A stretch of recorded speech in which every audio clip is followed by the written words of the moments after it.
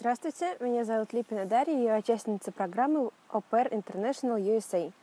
На данный момент моя программа уже началась, я уже почти два месяца нахожусь здесь, а, и я бы хотела вам подробнее рассказать о том, как я получала визу в городе Екатеринбург. А, собеседование мое было назначено на 10 утра, Подошла я туда пораньше, примерно половина десятого или без двадцати десять, потому что там уже собирается очередь. Не только вам одним назначают, например, к десяти часам. Поэтому желаю вам, советую вам, точнее, подойти немного пораньше.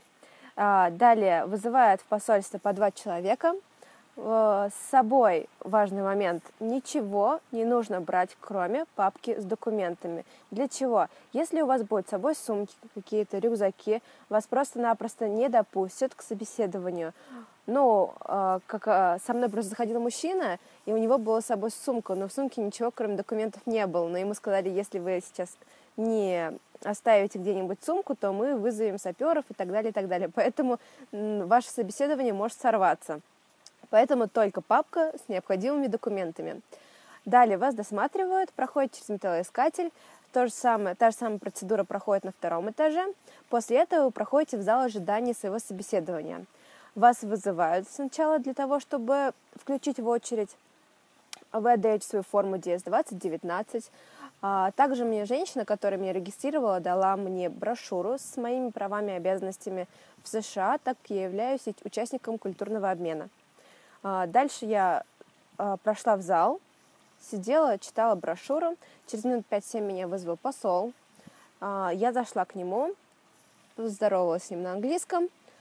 Он мне сказал то, что... Спросил, точнее, вы говорите на английском. Я ответила «да». Дальше наш диалог строился полностью на английском языке. Какие вопросы он мне задавал? Знаю ли я штат, куда я лечу, город, куда я лечу, а, чем занимается моя host family, а, далее, сколько у них детей, чем я буду заниматься с детьми, чем я буду заниматься по приезду из США. Также он мне спросил, была ли я раньше в США. Я ответила, что да, была в таком-то, таком-то штате, в таком-то, таком-то городе, работала официантом.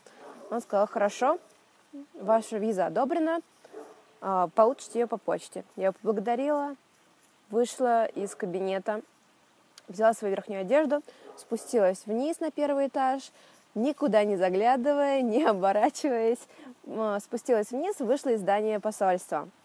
А, что могу вам посоветовать?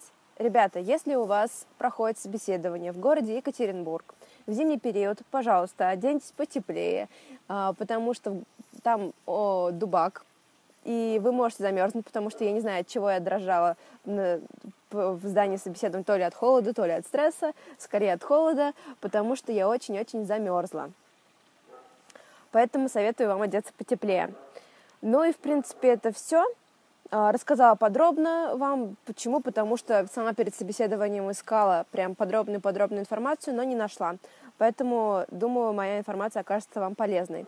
Также э, содействовали, помогали мне в том, чтобы оформить визу и вообще весь процесс оформления документов по программе Open International московская компания Росперсонал, а в частности Екатерина Жбанова, которая мне оказывала круглосуточную информационную поддержку, э, так, чтобы я не волновалась, потому что я задавала кучу вопросов, нужных, ненужных, конкретных, хотела знать все заранее, что когда будет – и так далее. Поэтому спасибо им огромное.